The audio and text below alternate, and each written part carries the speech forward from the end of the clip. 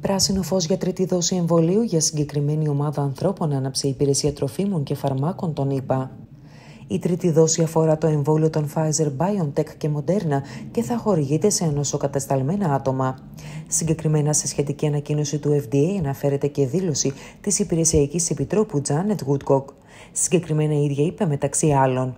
Η χώρα έχει εισέλθει σε ένα ακόμα κύμα της πανδημίας της νόσου COVID-19 και ο FDA γνωρίζει ιδιαίτερα ότι οι ανοσοκατασταλμένοι άνθρωποι κινδυνεύουν ιδιαίτερα για σοβαρές ασθένειες. Έπειτα από ενδελεχή ανασκόπηση των διαθέσιμων δεδομένων, ο FDA διαπίστωσε ότι αυτή η μικρή ευάλωτη ομάδα μπορεί να αποφεληθεί από μια τρίτη δόση των εμβολίων Pfizer BioNTech ή Moderna.